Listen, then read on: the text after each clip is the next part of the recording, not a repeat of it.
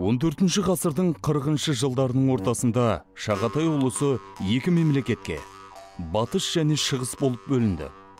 Батыс бөлігінде яғни мауараннахрда билік әмірлер қолында болды. 1370 жылы мауараннахр әмірлерінің өзара қырқысы әмір темірдің жеңісімен аяқталды. Бұл әмір темір мысалға билік басына келгеннен өте үлкен империя құрды бұл әлемдегі бірден бір қатал патшаның бірі болды. Оны тарих біледі. Сонау африкадан бастап мына жай индияға шейін жаулады былайша айтқанда өзінің мемлекетінде 27 мемлекетті біріктірген бір үлкен тұран империясын құрды. Бұл кісі. Міне сол тұран империясын билеп сол қаталдығының арқасында мысалы осындай империяны ұстап тұрды.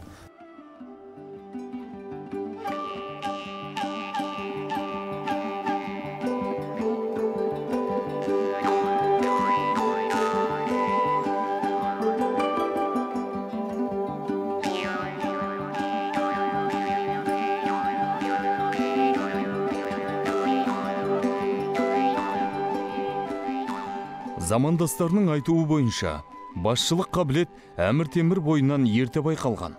Ол өз жетте батыл болып өсті. Әмір темір өзінің саяси өсу жолын 14 ғасырдың 60 жылдарының басында барлас тайпасына билігін орнатудан бастады. Жарақат алу нәтижесінде оның оң аяғы сол аяғынан қысқа болып ақсақ темір атанды. Оны еуропалықтар темірлан деп атаған. Әмір темірді өзбек хан деп кейбіреу қарайды ол мүлдем өзбектерге қатысы жоқ мүлдем қатысы жоқ әмір темір ол әрине жаңағы шағатай ұлысынан шығады әмір темірдің аталары мына шыңғыс ханның аталарына туыс болып келеді түбі ол мына шағатай ұлысы негізгі мына қазіргі біздің өзбекстан тәжікстан сосын мынау иран сияқты елдерді басқарып тұрды ғой шағатай деген кім тұқымдар ғой жаңағы шыңғыс хан тұқымдары бірақ олар жошын балдар емес. Иә сондықтан бұлар жошын балдар емес. Бірақ кім әмір темір шағатайдың тұқымы емес. Ол шағатай шағатай иттерінің жанында жүрген атақты бек атақты әмірдің баласы. Ол неге хан бола алмады? Себебі ол тек қана қарадан шықты ғой. Әмір темір қарадан шыққан. Мысалы едіге де қарадан шыққан мамай да қарадан шыққан. Иә. Сондықтан ол хан бола алмайды бірақ жанында келте хандар ұстады. Ана шағатайдың тұқымдарын ол өзі жанында ұстап отырды бірінші хандар болды. Рас мемлекет билеушісіне айналған темір әмір атағын қабылдады. Алғашында ол хан тағына шыңғыс хан ұрпақтарын отырғызып өзін тақ иесінің өкілімін деп атады. Дәстүр бойынша мемлекет билеушісіне көрсетілетін құрметтерді әмір темір үнемі өзі қабылдады. Әскер байқауында әмір темір өзі жүргізді. Әмір темір енді өзінің былай өміріне қарасақ енді істеген істеріне жалпы қалай билікке жетті ол деген енді шыңғыс хан тұқымы емес ол аристократ емес енді ақсүйек емес ол деген билікке айлакерлікпен қарумен келген адам. Мысалға билікке келгеннің өзінде одан үлкен проблемалар болды сол кезде шағатай ұлысының екіге бөлініп кетуі моғолстан болып және мавренахр болып. Әмір темір мавренахрдың билеушісі мысалы әмірі болады ал моғолстан екеуі негізі бір мемлекет болу керек. Моғолстан бөлініп кетеді де мұнда ежелгі енді түркі, түркі тайпалары моңғол тайпалары билік етеді. Мавренахрды ислам діні басып кетеді. Бұл кезде дінге қатты тартылып кетеді де екеуінің арасындағы кикілжің күшейіп кетіп мемлекет екіге бөлінеді. Мавренахрдың ішінде мысалға әмір темірдің өзінде үлкен қиындықтар туғызды. Ол деген бірінші айналасындағы соғыс сосын ол билікке келген кезде ол айлакерлікпен өзінің басшысының орнына оның билігін көп ешкім мойындаған жоқ. Мысалға ол енді шыңғыс хан тұқымы болмағаннан кейін оған қарсы шыға алды. Ол сол кезде діни адамдарды пайдаланды. Одан кейін қала халқын тұрғындарын жауынгерлер мәселесін өзіне тек адал жауынгерлер іздеді тек өзінің билігін мойындайтын. Бірақ әмір темір өзі түркіленген моңғолдың барлас тайпасынан ғой. Ол өзінің әскерін осы көшпенділерден жинады. Себебі енді қала халқы тұрғындарынан әскер шықпайды. Деп бірақ көшпенді әскер болғаннан кейін ода енді ол уақыт өткен сайын саны өсе береді ол атағы шыққан сайын. Ол әскердің енді ауызы көбейеді оның бәрін қорек керек оған бәріне жалақы төлеу керек. Және де егер шыңғыс ханның әскері оған тікелей бағынатын халық болса мысалы ол халықты соғысқа жіберетін болса әмір темір ол деген уже мәселе бұл мұсылмандық елде ғой мұнда қала халқы бар қала тұрғындары бар ол бүкіл халықты бірден соғысқа апара алмайды. Оған бөлек жалдамалы әскер керек болды. Ол әскерді не істеу керек? Біріншісі оның жағдайын жасау керек ақшасын төлеу керек. Енді орта ғасыр және қазіргі заманды білеміз. Ол әскердің ақша табудың ең оңай жолы ол көршіңе соғыс ашу мысалға моғолстанға ол бес рет жорық жасайды иранға жорық жасайды осман империясымен соғысады индиямен соғысады. Мына жерде алтын орданы қиратып кетеді түгелімен тонап.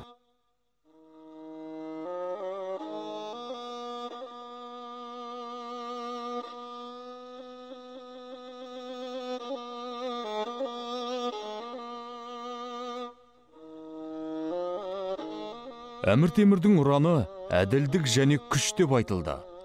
Ұран мөрге және әмір темірдің сақинасына бедерленді.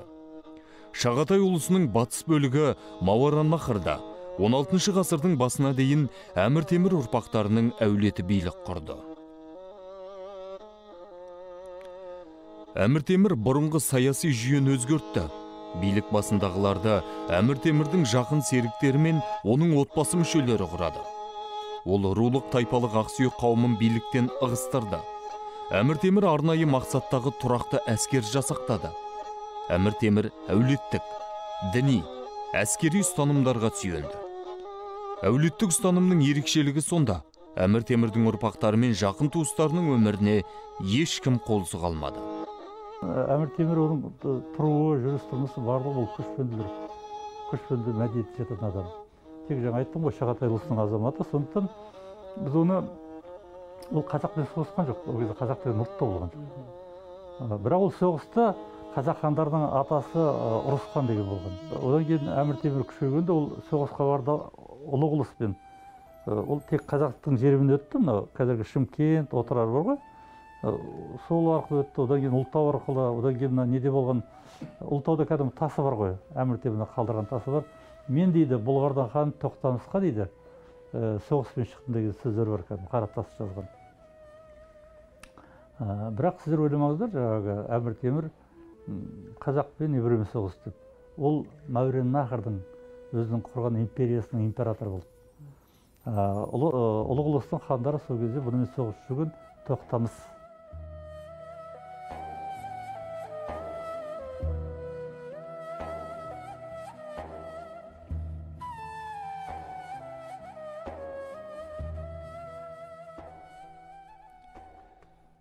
сенімі жағынан әмір темір ислам діні мен оның өкілдеріне құрметпен қарады. Әскери ұстанымы бойынша оның әскерінде моңғол тәртібі үстемдік етті. Әмір темір өзін шыңғысхан империясының дәстүрін қалпына келтіруші ретінде есептеп соның нәтижесінде жеңіске жеткенін мойындады. 14 ғасырдың 70 жылдары ол әскери ұрыс қимылдарын бастады. Әмір темір жорықтарының ауқымы ертістен делиге дейінгі рязань жерлерінен жерорта теңізіне дейінгі көптеген елдерді қамтыды. Бірақ әмір темір өз мемлекетіне каспий бойы аймағын иран мен ауғанстанды ғана қосып алды. Оның моғолстан ақорда алтын орда сирия үндістанға және басқа аумақтарға жорықтары шапқыншылық сипатында өтті. Әмір темір алтын ордаға үш рет жойқын жорық жасады. 1395 жылғы соңғы жорығы нәтижесінде алтын орда күйреді.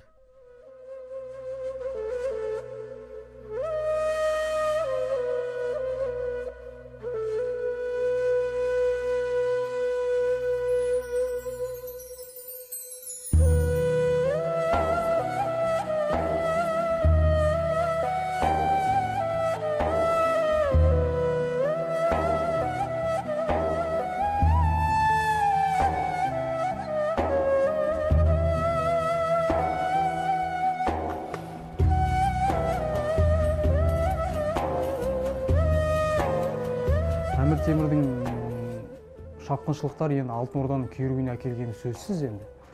Оның әмір темірдің алдына қойған мақсаты сол болды ғой жаңағы ең басты мына экономикалық күш қуатын әлеуетін құлату керек болды.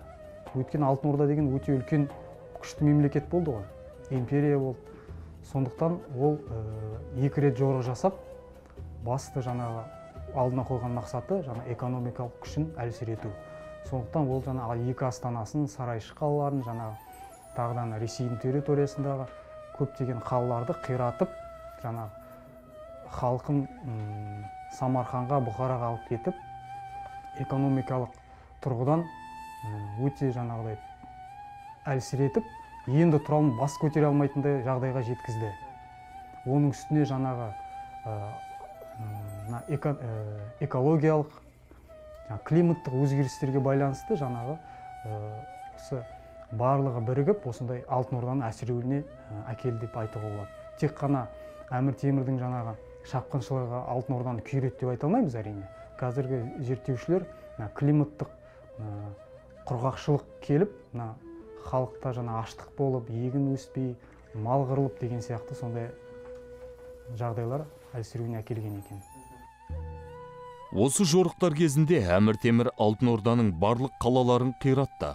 Қазақстан кавказ және оңтүстік жерлерін тонады. Алтын орда қайта қалпына келе алмай оның құлдырауы басталды. Алтын орданың құлауы орыс жерлерінің моғолдар билігінен азат етілуіне ықпал етті. Оның тонаушылық жорықтары моғолстан мен ақ орданың құлауына келді. Жетісу жеріне шабуылдауда ол ең бірінші ә, өзеніне дейінгі жерлерге кіріп іле өзеніне дейінгі жерлерге кіріп ә, алмалық алмалық қаласын жанына дейін жетіп ә, ыстықкөлге дейінгі жерлерді өзінің қоластына қаратады. Сондай ақ әмір темір осман империясына да соққы берді. Еуропаға қауіп төндіріп осыған дейін жеңілмейтіндей көрінген баязид сұлтанды талқандады. Әмір темірдің шапқыншылық ә, жорықтарын біз көбінесе ә, кері әсерлерін айтамыз. Яғни мәдениетке ә, зардаптары шаруашылыққа көп зардаптары көптеген қалалар қирады ә, мәдени ошақтар қирады деп айтамыз. Дегенмен де біз әмір темірді тек қана басқыншы ретінде көрм- көрмеуіміз керек. Ә, себебі ол ә, самарқан қаласында осы жаулап алған жерлердің көбісінде ә, әмір темір жаңағы сәулетшілерді архитекторларды ә, дизайн ә, жасайтын енді қазіргі тілмен айтқан кезде сәулетшілерді сол самарқанға жинаған екен. Себебі сол жерде самарқанды гүлдендіруге түрлі ғимараттарды ә, кесенелерді салуға барынша өз үлесін қосқан. Оны біз ә, сол самарқан қаласындағы гур эмир өзі жатқан кесене және оның туыстары жатқан кесене гур эмир ә, кесенесі ә, және самарқанда осындай ә, шапқыншы ретінде ғана көрмеуіміз керек. Оны мәдениетке үлес қосқан адам ретінде тұлға ретінде қараймыз. Өзі шапқыншылық жасаған жерлерде ол үнемі сәулетшілерді архитекторларды алып келеді екен самарқанға. Себебі самарқан сол кезеңдегі мәдени орталықтардың жаңағы әмір темір мемлекетінің жүрегі болған астанасы болған. Сондықтан да астананы гүлдендіру үшін мәдени ошақтарды ғимараттарды мешіттерді кесенелерді салдыру үшін осы жаңағы аталған тұлғаларды жинаған.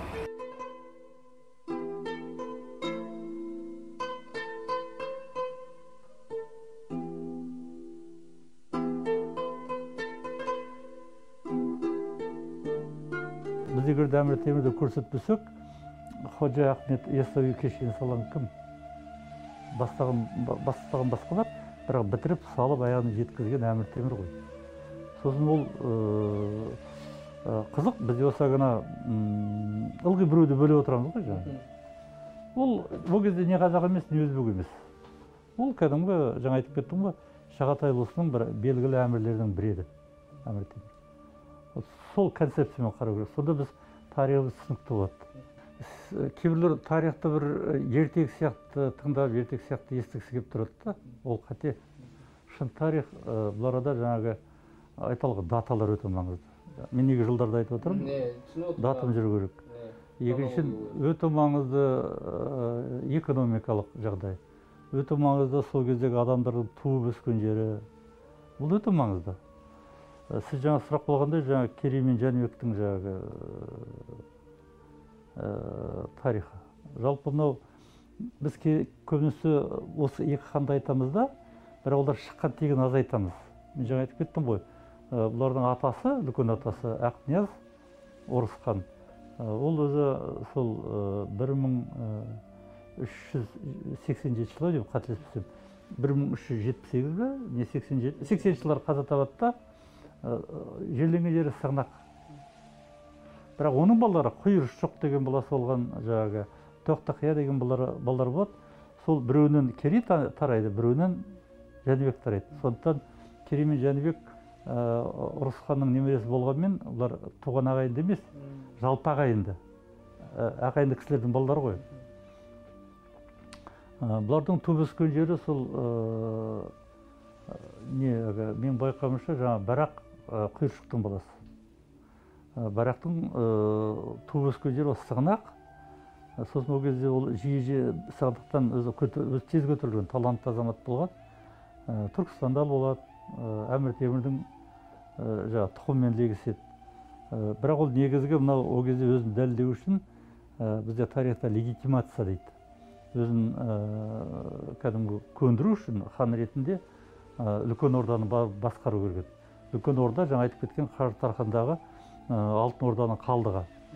Ұлық ұлыстың содан жаңа айтып кеткен кіші мұхаммед ұлық мұхаммед бір мың төрт жүз оныншы жылдары бір мың төрт жүз жиырмасыншы жылдары олар жаман соғысады соған біздің біздің деймін енді барақ қой енді барақ барады сол жерде жаңа айтып кеткендей шарайх жанына қаза табады да оның жаңағы ұлы одан екі қыз бір ұл қалады. Бір ұл айтады екі ұл екі қыз еді дейді. Ана екінші ұлды біз жоғалтып алдық та ә, нақты жаңағы ә, әбу сағид оның шын аты әбу сағид туғанда қойған аты. Бірақ өзі жәнібек деп аталып кеткен. Жәнібек хан деп кірді ғой.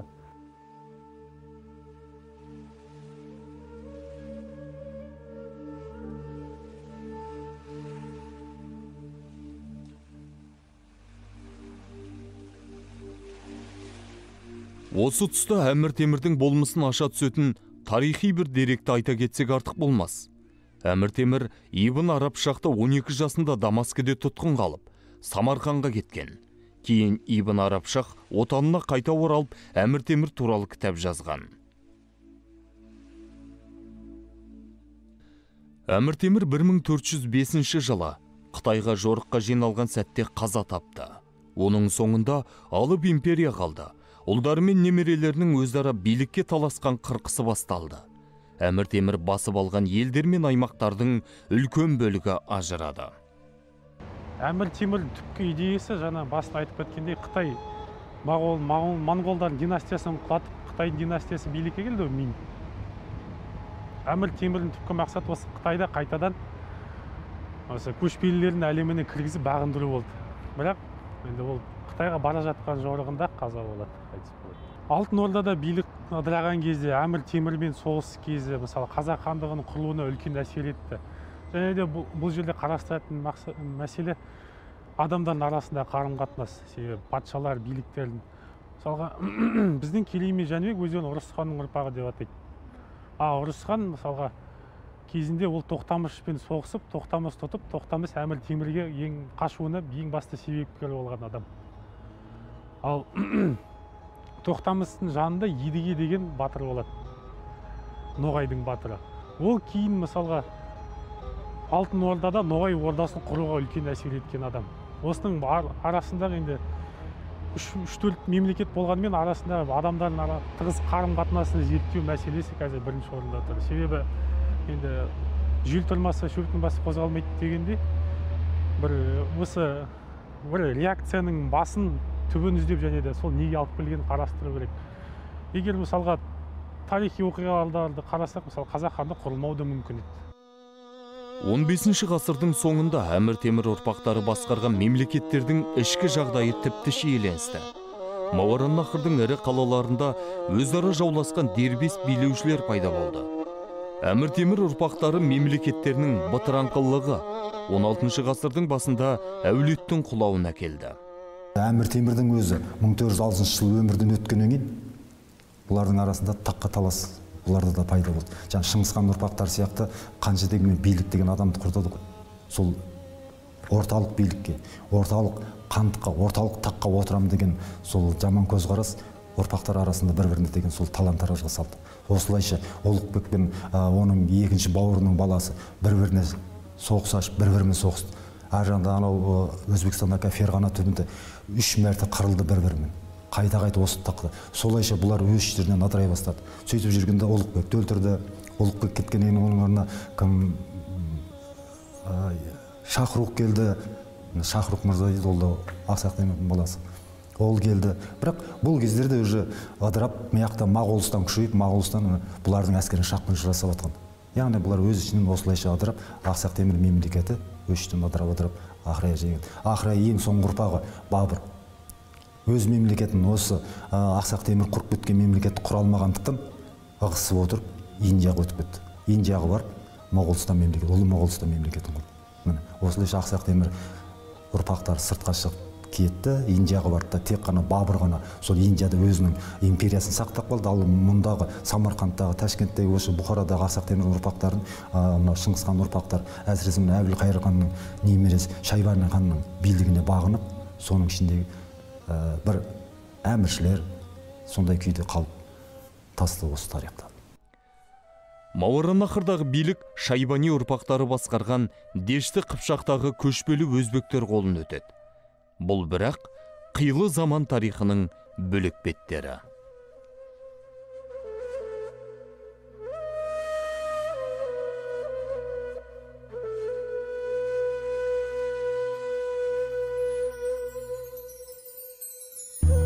Кей деректерде әмір темір 1336 жылы 8 сәуірде маураннахрдағы кеш қаласында қазіргі шахрисабызда самарқанның оңтүстігінде дүниеге келді делінген.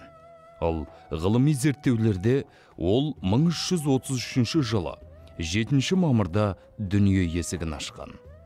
Ал грановский өз еңбегінде темір самарқанда 1336 жылы 9 сәуірде туған дейді. Ел арасында тараған әңгімелерінде ол қолына қану ұстап шашы ақ болып туылған деседі. Оның анасы шыңғысхан тұқымынан шыққан. Ал әкесі шағатай тұқымындағы әміршілердің бірі болған. Бірақ оған үлкен мұра қалдырмаған деген деректе кездеседі. Әмір темірдің дүниеге келген жылы туралы моңғол қытай жазбаларында 1333 араб парсы деректерінде 1336 ал еуропалық қайсыбір дерек көздерінде 1337 жыл деп жазылады. 1996 жылы юнеско-ның шешімімен өзбекстанда әмір темірдің 660 жылдық мерекесі өтті. Осыны назарға алсақ темірді 1336 жылы 9 сәуірде шахрисабыздың оңтүстік батысында қожа илғыр ауылында дүниеге келген деген қорытынды шығаруға болады. Атақты антрополог михаил герасимов темір мәйітін зерттеу қорытындысы бойынша оның бойы шамамен 172 сантиметрді құрағанын және физикалық жетілген өте мықты тұлға болғанын көрсетті. Оның шашы өз қатарларына қарағанда әлдеқайда ақшыл болған. Ғалым қалпына келтірген бет әлпеті және аққұба болғанына қарап кейбір еуропалық зерттеушілер ақсақ темірдің тегі еуропалық болғанын алға тартады.